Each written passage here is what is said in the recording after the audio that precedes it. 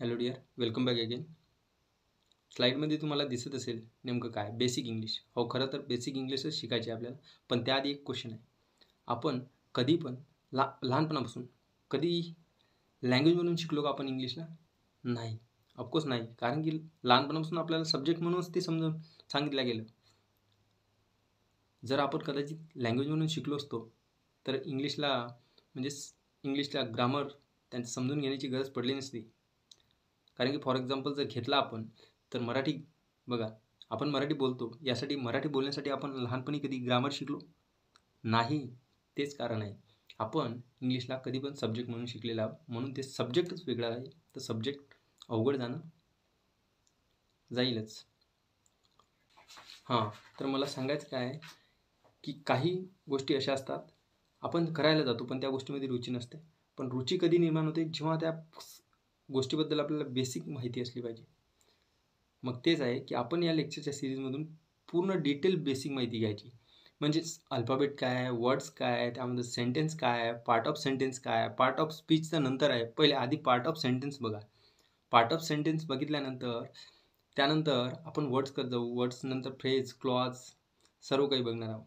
आणि मग होईल सेंटेन्स आणि मग सेंटेन्समध्ये तुम्हाला माहितीच आहे त्यामध्ये काय नाऊन आहे प्रोनाऊन आहे ॲडजेक्टिव्ह ॲडवर्ब आहे त्या त्यानंतर कंजक्शन प्रेपोजिशन हे जोपर्यंत तुम्हाला सेंटेन्स बघितल्यानंतर हे यांचे पिक्चर तुमच्या माइंडमध्ये जोपर्यंत क्लिअर नाही होत तोपर्यंत इंग्लिश शिकणं अशक्य आहे. इम्पॉसिबल आहे. कारण की मी माझ्या याच्यानुसार सांगताय. तुम्ही घ्या तुम्ही किती ग्रामर वाचलं असेल तुम्ही ग्रामरचे सर्व फॉर्म्युले पाठ केले असेल पण तुमच्यासमोर जर सेंटेन्स उभा केला तर ते सेंटेन्समधील तुम्हाला adverb adjective conjunction article noun pronoun काय कोणता आहे हे जोपर्यंत कळत नाही तोपर्यंत समजून घ्यायचं की आपली इंग्लिश तरी पण वीक आहे. तर मला हेच सांगायचं की तुम्ही आता हे लेक्चर पूर्ण केल्यानंतर अवघ्या पंधरा मिनटात तुम्हाला मी माझ्या पद्धतीने सर्व सांगण्याचा प्रयत्न करते. फर्स्ट लेक्चर आहे. या फर्स्ट लेक्चरमध्ये तीन डाऊट क्लिअर करायचे आपल्याला. आपल्याला अल्फाबेट तर सगळ्यांना माहितीच आहे. सांगायची काही गरज नाही. तर बघा आता पहिला पॉईंट शिकायचा आहे आपण आपल्याला अल्फाबेट आता अल्फाबेट सगळ्यांना माहीत आहे पण मी यामध्ये एक कन्सेप्ट सांगते तुम्हाला अल्फाबेटमध्ये ते बघा आता तुम्ही लक्षपूर्वक का आणि नोट करत चला. म्हणजे जेणेकरून तुम्हाला रिवाईज करण्यासाठी तुमची एक नोट्स तयार होईल आणि पुन्हा लेक्चर बघायची काही गरज पडणार नाही. अल्फाबेट सव्वीस असतात सगळ्यांना माहीत आहे. यामध्ये व्यंजन आणि स्वर हे मराठीतील भाग हेच इंग्लिशमधील भाग. त्यांना आपण व्यंजनांना जर बघितलं तर इंग्लिशमध्ये काय म्हणणार आहोत आपण? कॉन्सोनंट जर बघितलं. काय? C O N S O N A N T ठीक आहे? थोडंसं लिहिण्यामध्ये प्रॉब्लेम जाते. थोडंसं तुम्ही ॲडजस्ट करून घ्या. तर त्यामध्ये जर बघितलं त्यांची संख्या किती आहे? एकवीस. हे झाले व्यंजन. आणि जर बघितलं सोर त्याला काय म्हणतात? ओएल्स. ठीक आहे? यांना सोर असे म्हणतात. हे किती आहे? सोर. यांची संख्या जर बघितली तर उरले पाच. ठीक आहे? तर ते तुम्ही लिहून घ्या काय आहे ते. A E I O U ठीक आहे? बाकी उरलेले जे काय आहेत ते व्यंजन आहेत. एवढं नोट केलं. तर बघा आता. आता यांचं युजेस काय? आहे म्हणजेच याची कॉन्सेप्ट काय? आहे मला सांगायचं काय? आहे कॉन्सेप्ट तर बघा. यामध्ये जर बघितलं अल्फाबेट्स आपण जे काही वर्ड्स आहे ठीक आहे? अल्फाबेट एवढीच आहे की या वर्डची अल्फाबेट आपण कधी लिहू शकतो? ठीक आहे? आणि अल्फा बेट. ठीक आहे? अल्फाबेट्स कधी लिहू शकतो आपण? ठीक आहे? यामध्ये हेच आहे की आपण अल्फाबेट्स कधी लिहू शकतो? अल्फाबेट्स कधी लिहू शकतो? हे महत्त्वाचं आहे. येस कधी लावू शकतो? येस कधी लावायचं नाही? हे. जेव्हा सेंटेन्समध्ये जर अल्फाबेट्स वर्ड आला तर तिथे एक तुम्हाला समजून येईल.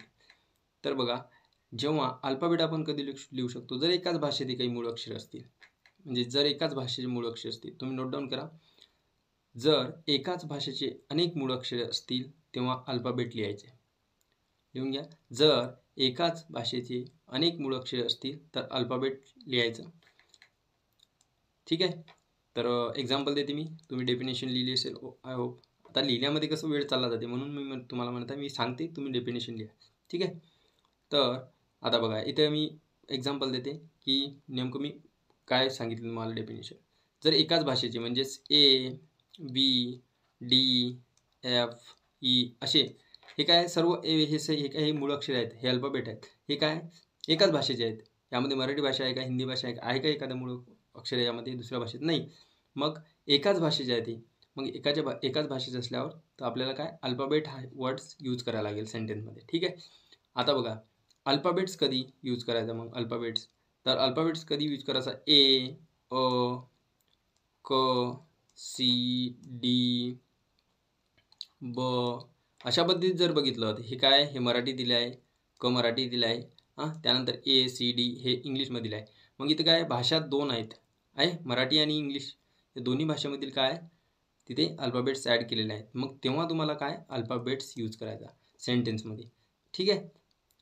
आय होप क्लिअर झालं असेल. आता सेंटेन्स बघा. आता मी से एक सेंटेन्स तयार करून देतो तुम्हाला. त्यामध्ये तुमचं क्लिअर होईल. ठीक आहे? काय सेंटेन्स ओके ठीक है देज ठीक है T H E S E R ठीक है just J U S T just twenty six alphabet in English ठीक है तर इथे तुम्हाला काय? अल्फाबेट काय यूज केलं? मी इंग्लिशमधल्याच अल्फाबेटची काय? सव्वीस जे मूळअक्षर आहेत. हे इंग्लिशमधलेच मी काय? इन इंग्लिश फक्त इंग्लिशमधलेच काय? यांची उल्लेख केलेला आहे इथे. म्हणून इथं these are twenty six alphabet use केलेला आहे. इथे एस लावलेला नाही आहे मी. ठीक आहे? म्हणून मी इथं काय? अल्फाबेट हे वर्ड यूज केलेलं आहे. ठीक आहे? आता जर बघितलं दुसरंच बघू आपण. दुसऱ्या याच्यामध्ये दुसरं सेंटेन्स घेते आता मी. एक एक वन सेकंड मी पेन चेंज करते कलर चेंज करते तुम्हाला दुसरं सेंटेन्स ओळखू येईल ठीक आहे तर बघा आता दुसरं सेंटेन्स घेते द यार पेन। काय दुसरं सेंटेन्स घेते the W R O T wrote five alphabet of English English and Marathi. ठीक आहे? इथं बघा मी इंग्लिशचा उल्लेख केला आणि मराठीत मराठीमधील उल्लेख केला. मग इथे अल्फाबेट येईल का? नाही येणार. कारण की इथे एस लागेल. कारण की मी दोन लँग्वेजमधील अल्फाबेटचा उल्लेख केला. मी म्हटलेलं आहे की द रोट फाईव्ह म्हणजेच रोट रे राईट म्हणजे लिहिणे. तर रोट काय? सेकंड रूप रोट द रोट काय? लिहिले. काय? लिहिले मी. काय लिहिले? पाच. पाच काय? अल्फाबेट. मूळ अक्षरे लिहिले. कशाचे? ऑफ. इंग्लिश आणि मराठीचे. दोन्ही भाषेमध्ये मी पाच अल्फाबेट लिहिली. आता मी लिहून दाखवते इथे. जसं मी येते बघा इथे लिहून दाखवलेले आहे. ठीक आहे? हे बघा. इथे मराठीमधील अल्फाबेट आहे एक. ठीक आहे? मराठीमधील. त्यानंतर इंग्लिशमधील अल्फाबेट आहे ए सी डी. मी हे दोन्ही लँग्वेजचे अल्फाबेट लिहिले. तर मग सांगायचा उद्देश काय की या या सेंटेन्समध्ये काय म्हटलेलं आहे? द रोट म्हणजे द रोट फाईव्ह मी पाच अल्फाबेट्स लिहिले. अल्फाबेट्स काय यूज केलं? कारण की इथे समोर सांगितलेलं आहे इन इंग्लिश काय? In English and Marathi. Marathi आणि इंग्लिशमधील पाच अल्फाबेट लिहिले. म्हणून तिथे अल्फाबेट्स यूज केलं आपण. अल्फाबेट नाही यूज केलं. हे क्लिअर झाले असेल? हे वर्ड्स आपल्याला कधी पण सेंटेन्समध्ये जर आलं तर अशा पद्धतीने आपल्याला ते अल्फाबेट्स ऐवजी अल्फाबेट आणि अल्फाबेट्स यूज करावं लागेल. ठीक आहे?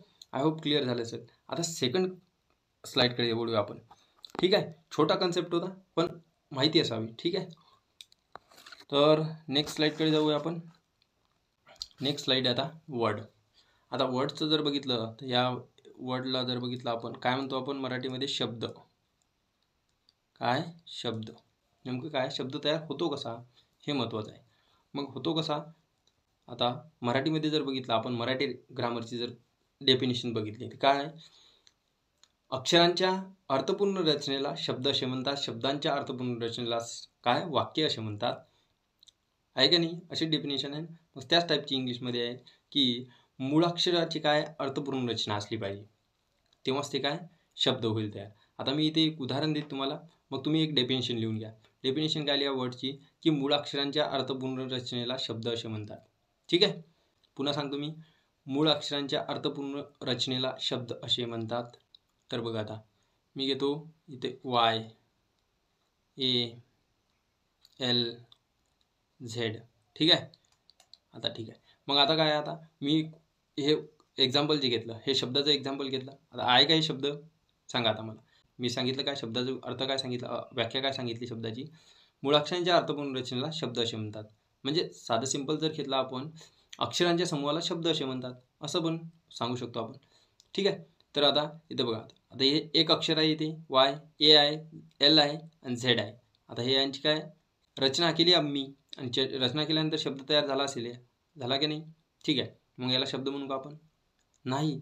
का नाही म्हणू? यांची जरी रचना केली पण अर्थपूर्ण रचना केली का? नाही. मग याला आपलं काय? शब्द म्हणता येणार नाही. मग आता अर्थपूर्ण रचना कशी करायची मग याची? तर बघितलं. आपण एल ए झेड वाय असं काहीतरी म्हणतो आपण. लेझी. आहे की नाही? म्हणजेच आळशी. होते की नाही? L A Z A. रचना केली पण याचा एक अर्थ पण निघतो. अर्थ निघत नाही का? लेझी. काय?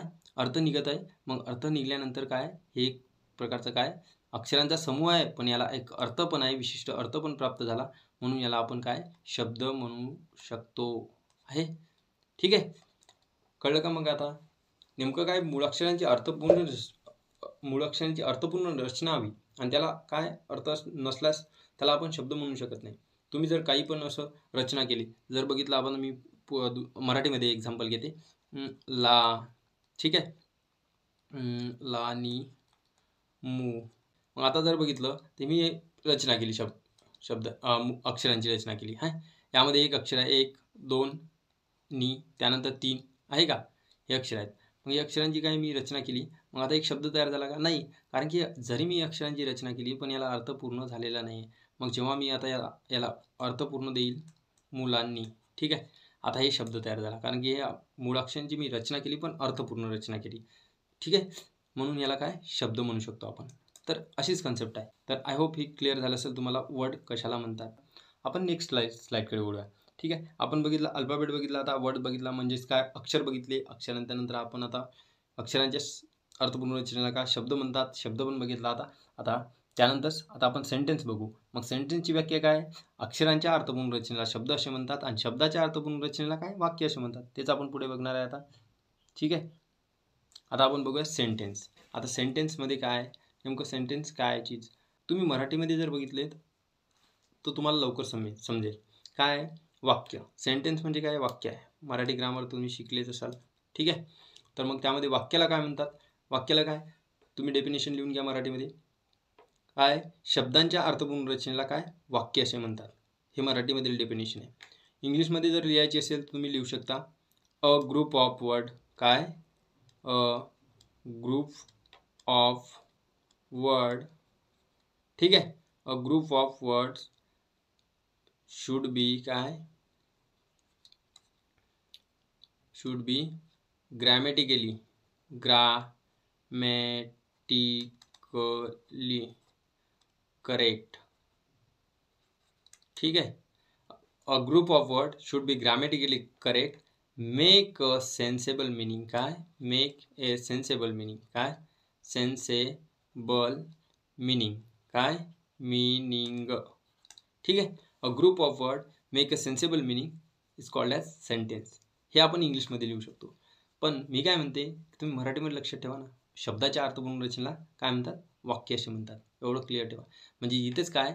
हे ग्रुप आहे ग्रुप ऑफ वर्ड म्हणजे शब्दांचा काय? ग्रुप समूह आहे. ठीक आहे? आणि हे समूह जर बघितलं तर व्याकरणदृष्ट्या काय बरोबर असला पाहिजे? म्हणजे शुड बी ग्रॅमॅटिकली करेक्ट आणि हे व्याकरणदृष्ट्या करेक्ट असला पाहिजे. त्याचसोबत काय? मेक अ सेन्सेबल आणि एक त्याला काय? सेन्सेबल मिनिंग एक विशिष्ट अर्थ असला पाहिजे त्याला. ठीक आहे? विशिष्ट अर्थ असला पाहिजे तेव्हाच त्याला आपण काय वाक्य म्हणू शकतो आपण. ठीक आहे? मग मी जर म्हटलं आता साधं उदाहरण घेऊ आपण. खातो.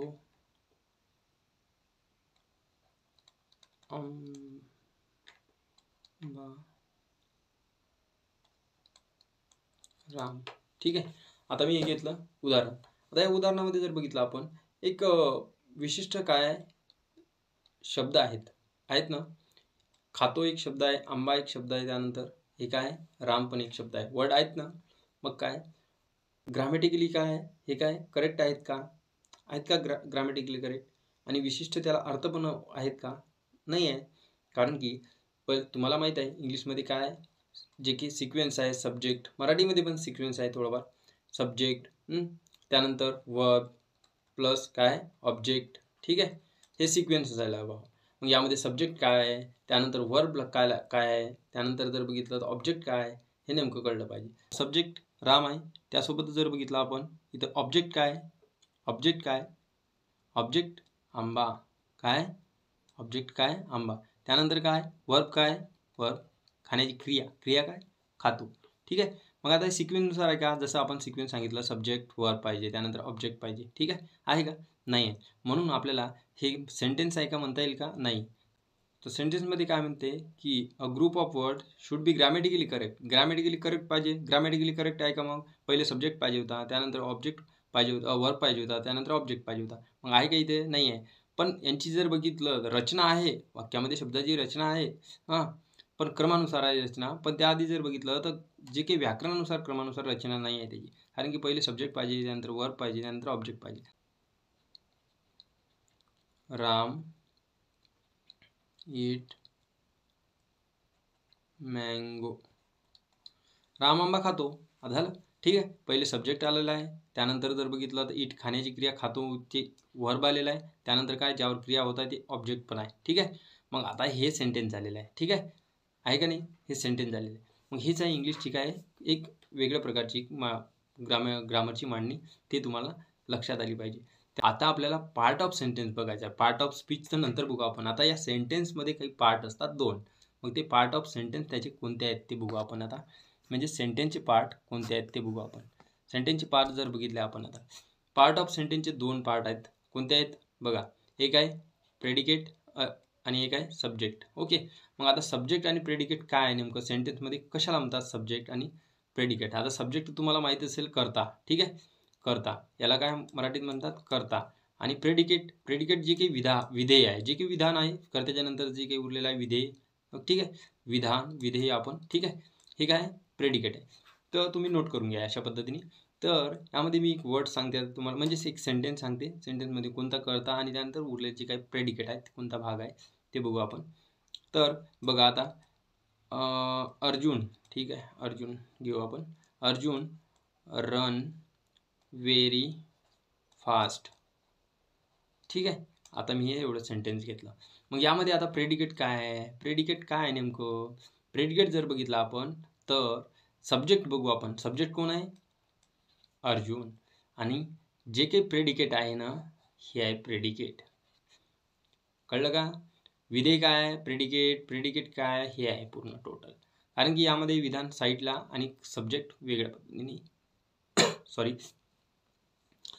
तर सब्जेक्ट आहे अर्जुन आणि विधेय आहे रन व्हेरी फास्ट राम खूप जोरात पळतो. आता हे जर बघितलं तर सब्जेक्ट सोडून जे काही उरलेला भाग असतो ते प्रेडिकेटचा भाग असतो. एवढं लक्षात ठेवा तुम्ही. ते काही असो मग त्यामध्ये वर्ब असो हां त्यानंतर ॲडजेक्टिव्ह असो ॲडवर्ब असो काही असो. पण महत्त्वाचं काय? सब्जेक्टचे दोन पार्ट असतात सब्जेक्ट आणि प्रेडिकेट तुम्हाला विचारलं जाते की जर एक्झाममध्ये विचारलं तर खालील सेंटेन्समधील प्रेडिकेटचा भाग कोणता? तर सब्जेक्ट काढायचा बाजूला आणि उरलेला भाग जे आहे सर्व प्रेडिकेटचा आहे. ठीक आहे? आय होप क्लिअर झालं असेल हे पार्ट ऑफ सेंटेन्स आता आपण नेक्स्ट व्हिडिओमध्ये पार्ट ऑफ स्पीच बघूया ज्यामध्ये नाऊन प्रोनाऊन ऑब्जेक्ट ॲडवर्ब ठीक आहे? कंजक्शन त्यानंतर प्रिपोजिशन हे सर्व क्लिअर झालं पाहिजे. जोपर्यंत सेंटेन्समध्ये त्या व्यक्तीला ओळखत नाही सेंटेन्समधील जे काही वर्ड आहेत त्या वर्डला जर तुम्हाला त्या वर्डशी परिचय नाही झाला तुमचा तर तुम्ही सेंट इंग्लिशमध्ये काहीच नाही कळणार समोर मग. ठीक आहे? मला असं वाटतं माझ्या अनुभवानुसार मी तुम्हाला सांगण्याचा प्रयत्न करत आहे. ठीक आहे? That's it thanks for watching this video आपण भेटूया नेक्स्ट व्हिडिओमध्ये